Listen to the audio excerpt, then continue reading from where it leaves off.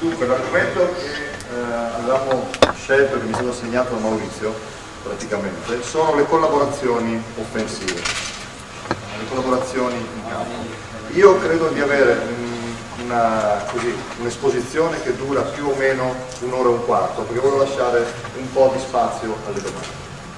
E eh, cercherò di, di- di parlare su, su quello- sul tema delle collaborazioni, su quello che secondo me è il vero senso della collaborazione in campo. Cioè non credo che mh, sia particolarmente interessante se ci occupiamo solo di eh, diagrammi o posizioni in campo, eh, pure e semplici, cioè uno palleggia di qua, tutti metti là, un altro giocatore palleggia di là, tutti metti là. No, secondo me il, il tema della collaborazione offensiva, eh, così come al contrario il tema della collaborazione difensiva fa appunto per la difesa, eh, il tema dell'attacco va proprio a toccare il, eh, la capacità che noi possiamo avere di stimolare la comprensione del gioco da parte dei giocatori. Questo secondo me è il vero senso. Eh, cioè finché noi eh, arriviamo, che è già un successo, ad avere dei giocatori che fanno qualcosa insieme e si passano la palla è già importante. Però avere chiaro quello che è il vero senso del collaborare in campo uno con l'altro è secondo me avere chiaro come io posso mettere il mio compagno in condizione di sfruttare le sue capacità. Un- uno dei- degli allenatori con cui ho collaborato per tanti anni usa il termine, la terminologia usarsi a vicenda. Ci sono squadre dove voi quando li vedete giocare eh, capite che i giocatori sanno usarsi a vicenda, cioè sanno perfettamente che cosa il compagno è bravo a fare e che cosa il compagno non è capace di fare e che di conseguenza dargli una palla in una certa posizione vuol dire metterlo in condizione di fare qualcosa che lui è effettivamente bravo a fare. Dargli lo stesso una palla in una situazione però diversa vuol dire metterlo in imbarazzo perché lui in quella situazione lì non ha le competenze tecniche per venirne fuori. Vuol dire quasi favorire un errore a dargli una palla in quella posizione. Viceversa, dargliela in un altro momento, in un'altra situazione, vuol dire esaltare le sue capacità. I giocatori più esperti di solito hanno questa eh, grande abilità nell'usarsi uno con l'altro, ma non sempre. Perché voi vedete anche tantissime squadre di giocatori esperti e di giocatori eh, maturi che non si sanno usare per niente perché manca questa capacità di parlare un linguaggio comune. Così come potete vedere squadre magari inesperte, fatte da giovani di belle speranze che stanno migliorando, dove quasi eh, così mh, non si sa bene perché, i giocatori sanno usarsi e quindi collaborano. Per poter parlare di collaborazione in campo, secondo me bisogna che condividiamo tutti, parlo io e i miei giocatori, un'idea di, di come il gioco viene fatto e di qual è lo scopo del gioco. Lo scopo del gioco è sicuramente vincere le partite, segnare, divertirsi, eccetera, eccetera, eccetera. Va bene, questo in senso più generale. Nel, nel tema svolgimento del gioco, cioè quando noi giochiamo, che cosa vogliamo fare? Per me la risposta è vogliamo tirare con uno libero. Questa è la risposta che io vorrei che i miei giocatori condividessero. Non ci arriviamo subito a parlare questo stesso, eh, con questo stesso linguaggio. Perché? Perché spesso ragazzi giovani, oppure a livello seniores, giocatori che arrivano da diverse realtà, hanno un'idea di quello che è il gioco di attacco che può essere molto diverso uno dall'altro. Per qualcuno il gioco d'attacco può essere ad esempio eh, correre molto no? e attaccare soprattutto in contropiede, per qualcun altro può essere eh, un'esecuzione a metà campo, per qualcun altro può essere eh, molta organizzazione, cioè ci sono giocatori che si trovano meglio in un sistema abbastanza rigido, altri giocatori vogliono avere la massima libertà in campo. Il succo del discorso però è che alla fine se noi dobbiamo mettere insieme tutte queste diverse conoscenze, bene, dove dobbiamo andare? Noi possiamo fare tanta filosofia. Secondo me nell'idea di dire noi, indipendentemente dal fatto che corriamo o che andiamo piano, perché poi molte volte è la partita che ti, fa, che ti permette di correre o di andare piano, al di là di quelli che sono i tuoi desideri. Al di là del fatto che giochiamo organizzato oppure un po' più, un po più libero.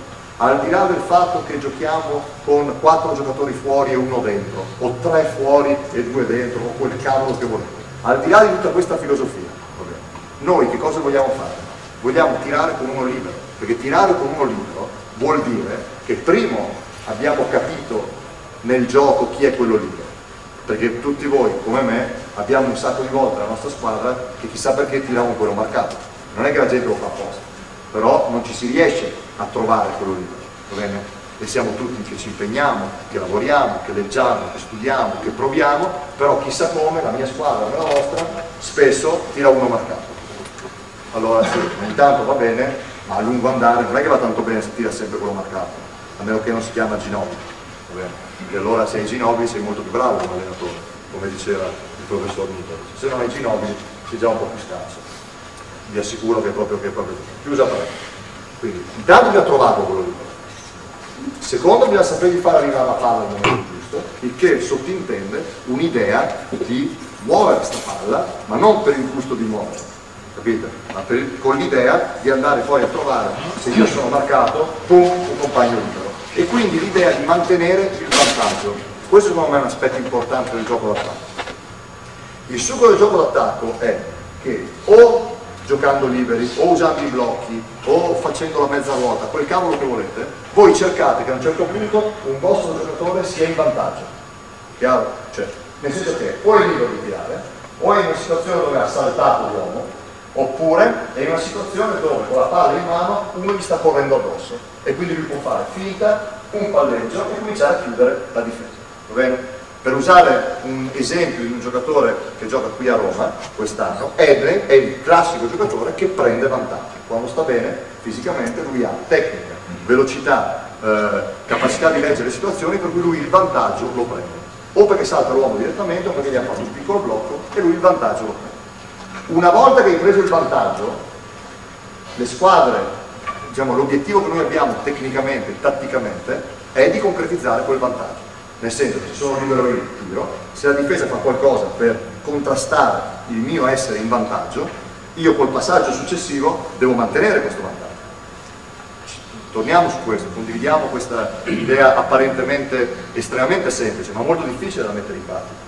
Perché poi sapete meglio di me che passare con un attimo di ritardo, fare un palleggio in più, non farsi trovare nello, nello spazio libero, eccetera, eccetera, il vantaggio lo perde.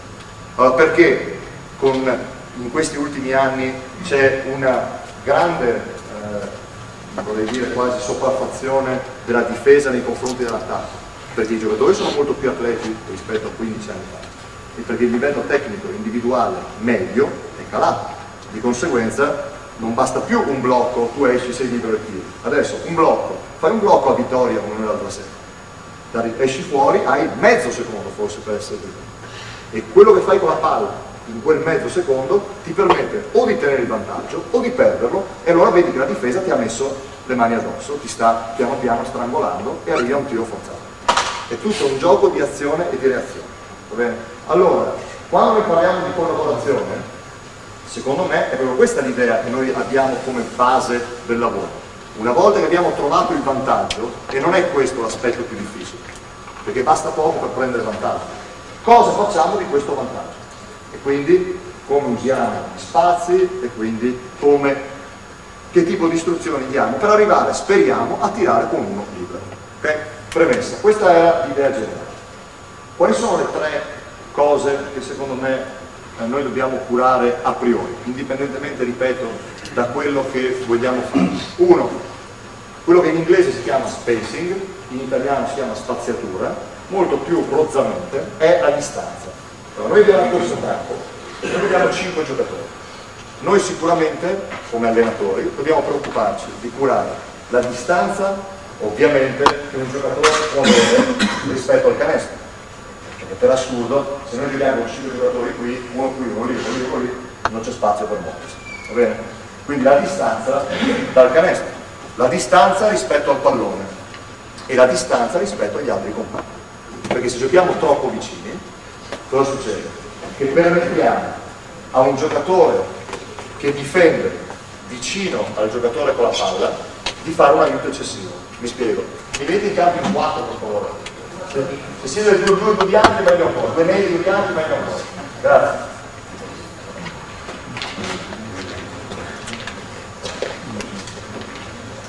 Meglio usiamo questa per stare per campo. Dimentico la palla, dimentico la palla.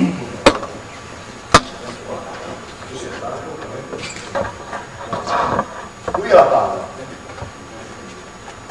Se lui gioca a questa distanza al compagno con la palla, permette automaticamente a questo ragazzo di giocare qui e quindi in quel momento di giocare uno contro uno. Ci siamo talmente banale che la visione ci mette tutti quanti a posto. Quindi se anche presumo che lui possa battere questa vedi, gli spazi diventano talmente ristretti che non ci muoviamo. Se con la palla qui lui già comincia a giocare due metri, due metri e mezzo più lontano, adesso vedi che per lui diventa un po' più difficile coprire contemporaneamente lui e lui, capito? Perché? Perché ha dilatato, abbiamo dilatato lo spazio di recupero, no? giusto per capirci. Nel senso che se anche qui lui va dentro e io forzo un aiuto normale, su questo passaggio lo spazio di recupero è molto più dilatato, cioè io non ci arrivo mai. Capito? Quindi il vantaggio qua l'abbiamo mantenuto di sicuro. Allora, o ruota qualcun altro, oppure lui ha un tiro, oppure lui ha una penetrazione. Quindi se giochiamo troppo vicini a quello con la palla, permettiamo all'uomo all che difende sul giocatore senza palla di difendere molto più facilmente. Okay? Lo stesso discorso è ancora più chiaro se pensate a due giocatori vicino alla palla. Quindi l'esempio mi viene più semplice se pensiamo a una zona 2-3. Okay? I due azzurri, anzi il bianco e l'azzurro sono i due laterali, i due scusate, davanti di una zona 2-3. La palla lì lui sta marcando più o meno aggressivamente la palla e questo giocatore gioca qui a proteggere questa zona. E supponiamo di avere un playmaker e un postato. Ora voi capite che se la palla è lì e questi due giocatori, lui mi chiama la palla qui, e lui mi sta qui. Lui è la seconda guardia difensiva, probabilmente bravo, con una mano qua davanti e una qua, riesce uno contro due a stare per un paio di secondi. È abbastanza intuitivo questo, no? Ora, se lui sta qui, diventa già più difficile.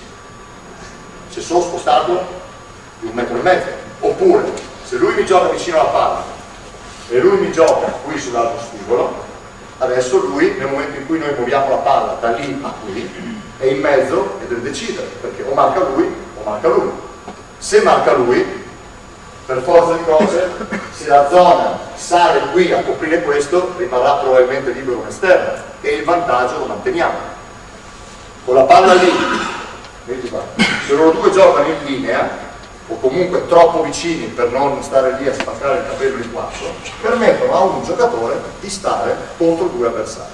Questo ne parlavamo molto tempo fa con Cremonini quando parliamo di didattica della pallacanestro e didattica del mini basket.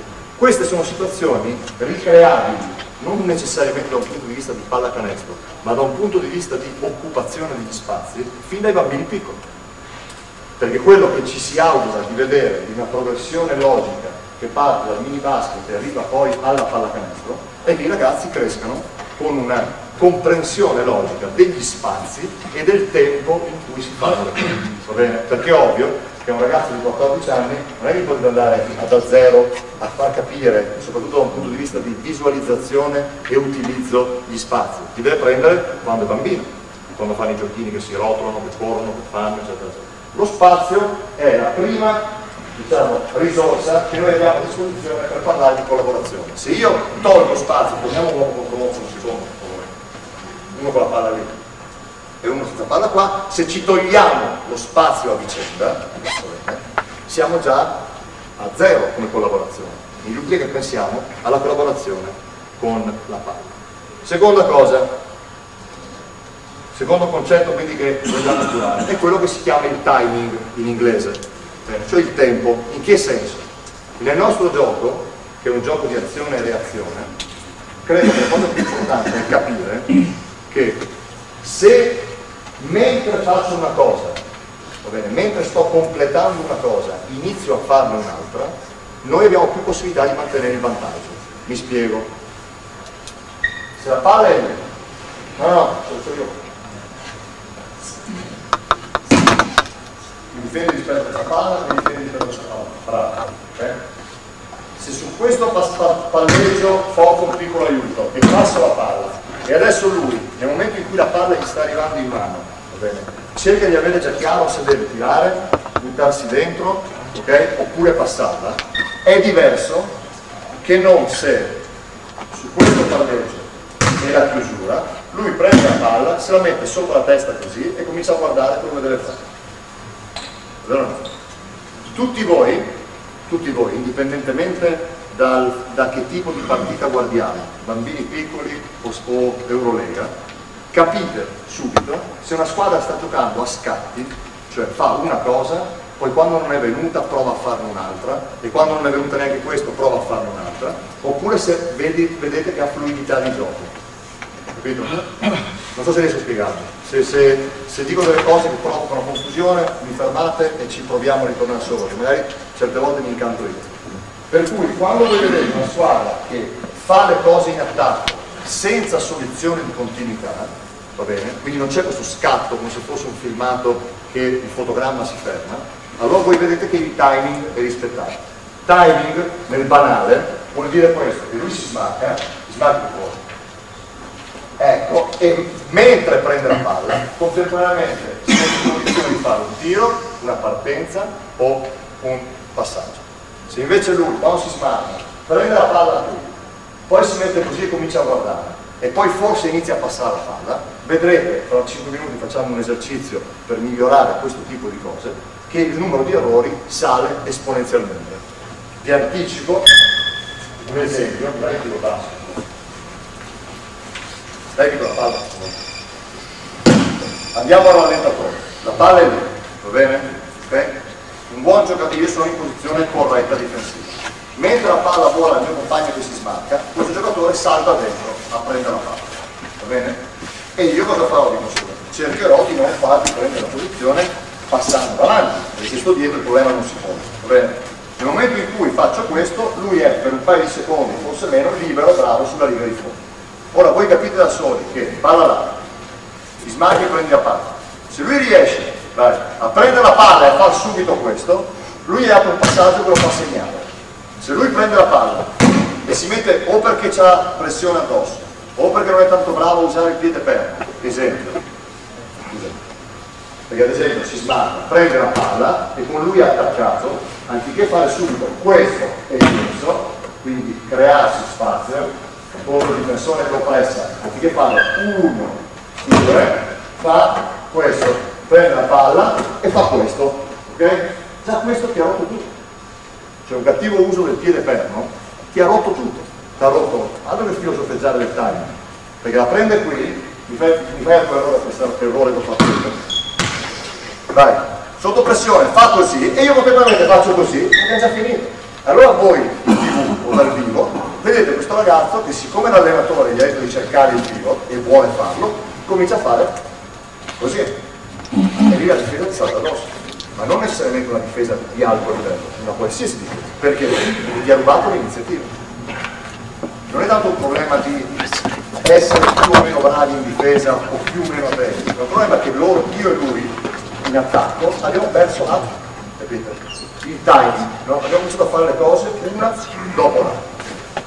Terza cosa che vogliamo curare è la visione periferica, perché non possiamo parlare di collaborazione in attacco se non cominciamo a capire come possiamo vedere più giocatori contemporaneamente in campo e soprattutto come possiamo vedere una maggiore porzione del campo.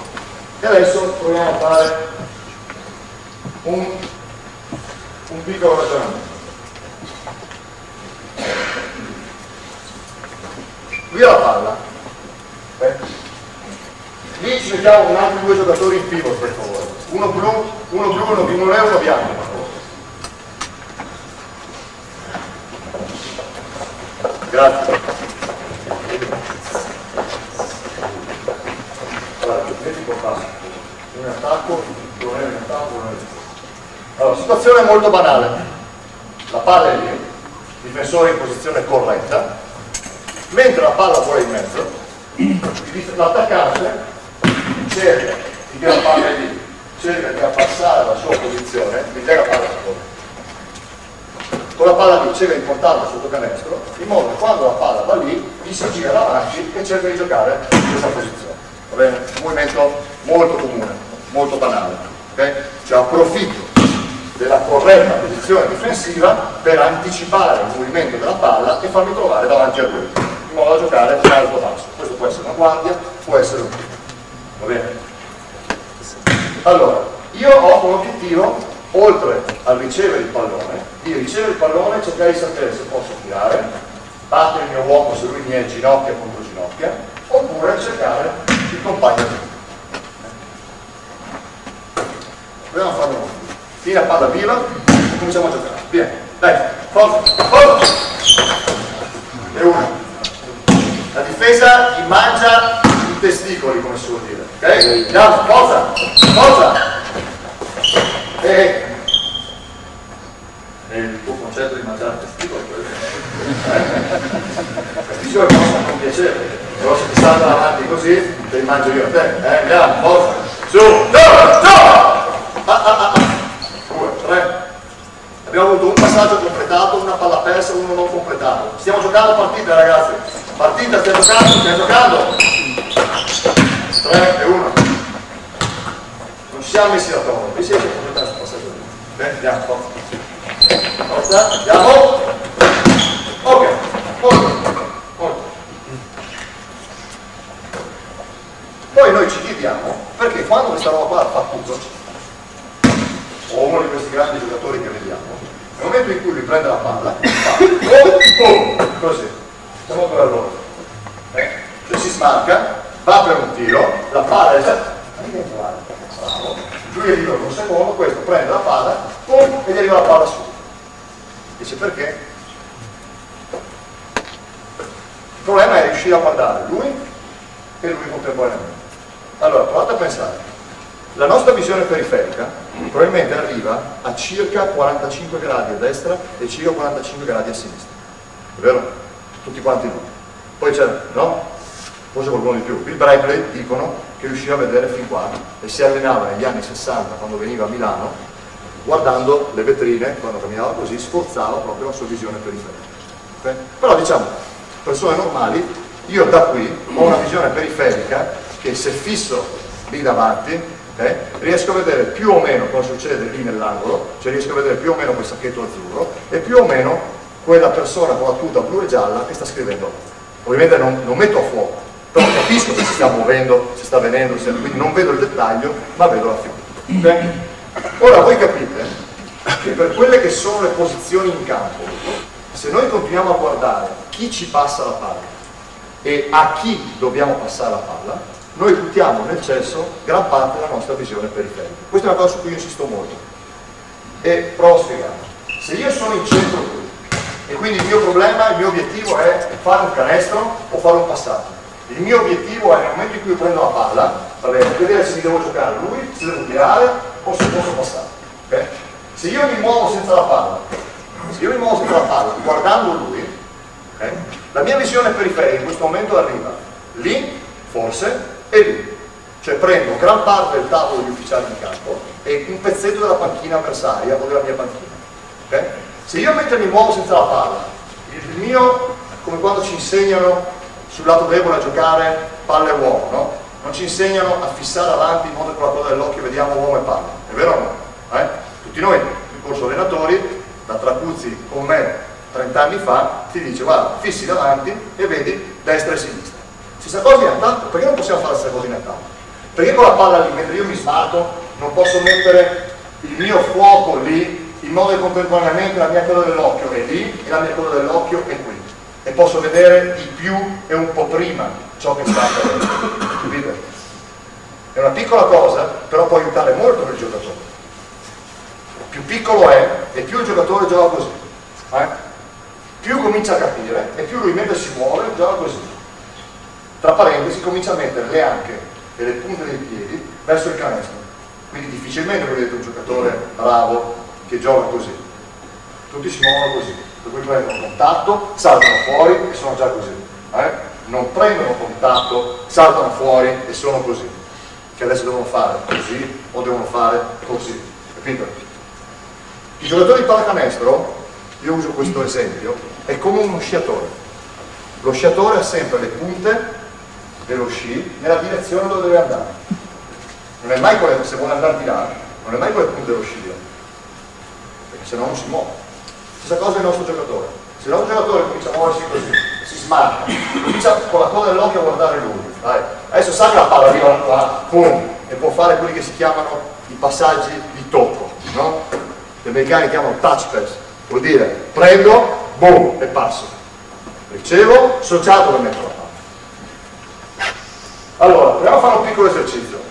Mi venite, vi fate una fila qua di tre, forza, una fila qua di tre, col pallone, vediamo qua di pallone in più, una fila in ala, no no, più qua sotto. Facciamo vedere l'esercizio, anzi, spostiamo di là, così viene bene loro, secondo me. Abbiamo bisogno, guarda ragazzi, di tre con la palla qui, tre con la palla qui. C'è l'altro pallone, grazie. Gli altri qui in ala. Gli altri qui in ala. No, in mezzo, guarda, in mezzo. No, qui questo Ho bisogno di altri due. Andiamo. Grazie. Il primo difende passivo, capito? Okay? Il secondo in coda e così via. Rotazione è attacco, difesa, lì, lì, qui. Chiaro? Voi due, ok? Uno dopo l'altro, io faccio difesa passiva, ok? Senza tirarmi la gomitata, io ti gioco o dietro, va bene? O ti gioco di qua così, o ti gioco di qua così. Tu di conseguenza fai questo, o questo, o questo. Lui ti deve mettere la palla addosso, su. Il tuo obiettivo è smarco, ricevo, leggo la difesa e nel momento in cui prendo la palla so già dove devo metterla. Capito? Quindi fissa qui se ce la fai, comunque metti l'attenzione qui, così con la tua dell'occhio vedi me e vedi il compagno ti passa la palla. No, no, faccio io. Fai. Prendi, vai a tirare, chiaro? Quindi voi fate solo attacco. Siamo? Forza, andiamo, via, pronto, via. Guardare, via, via, via, pronto l'altro, via. Attacco, presa, fuori. Andiamo, andiamo, andiamo. Ah. Troppo tempo, troppo tempo. Andiamo, troppo tempo. Troppo tempo. Bravo, siete male. Guarda dentro, guarda dentro, guarda dentro, guarda dentro. E passa lontano da me. Passa lontano da me. Eccolo bravo. Ok, via, dov'è? Buono. Oh, adesso comincia a pressare. Adesso invece comincia a pressare. Pronti? Via. Ah, ah, ah, ah. Ma cazzo. Ehi, ehi, io in realtà sono grande e grosso come lui. Quindi se vedi che io sono qua e gli passi la palla qua, io di solito se sono come lui sono grande così, capito? Se mi vedi qua, dai la palla. Se mi vedi qua, se gliela metti qui, dai la palla. Io faccio così e adesso lui si deve lavorare uno contro uno, capito? Se invece gliela riesci a mettere lì, sono due punti subito. Perché io non il tempo di andare su lì in fondo, c'è una differenza enorme. Torniamo a quello che dicevamo prima, sapersi usare. Eh?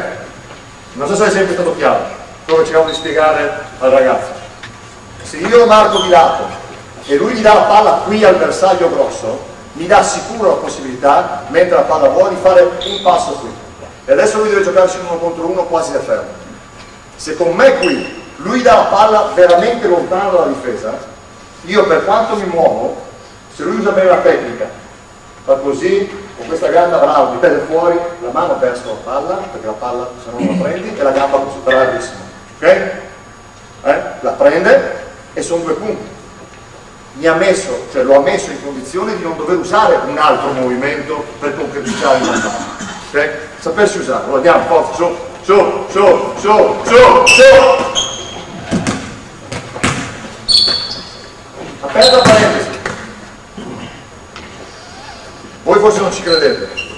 Noi tuttora a Treviso, con la squadra che abbiamo quest'anno, la mattina occupiamo almeno una o due volte a settimana, soprattutto con i più giovani, a fare queste robe qua. L'allenatore ha una funzione fondamentale che è quella di lavorare con la difesa passiva. Perché l'allenatore, a differenza del compagno, a me cosa costava l'allenatore a dire a lui, tu ti? A Nicola, Nicola fai tu 5 volte la difesa passiva, scegli destra o sinistra, va bene? Mi costava niente. Però la differenza qual è? Adesso non qui, scusami, che non conosco i ragazzi, quando ho i miei giocatori, io so chi di quelli lì guarda sempre in un punto e non la passa mai nell'altra parte e quindi gli posso forzare gli errori. So quello che fa le cose a memoria, per cui se gli ho appena finito di spiegare una cosa, basta che mi metto dall'altra parte e lui mi passa la palla in bocca. E quindi è una diciamo, continua provocazione sul piano dell'attenzione. Perché la differenza, io ho sempre pensato, non è non è diciamo, eh, come si può dire, la, la, voglia o non voglia di fare le cose o la nostra capacità di insegnare o non insegnare, la differenza la fa a che livello i ragazzi sono in grado di stare, eh, diciamo, di, di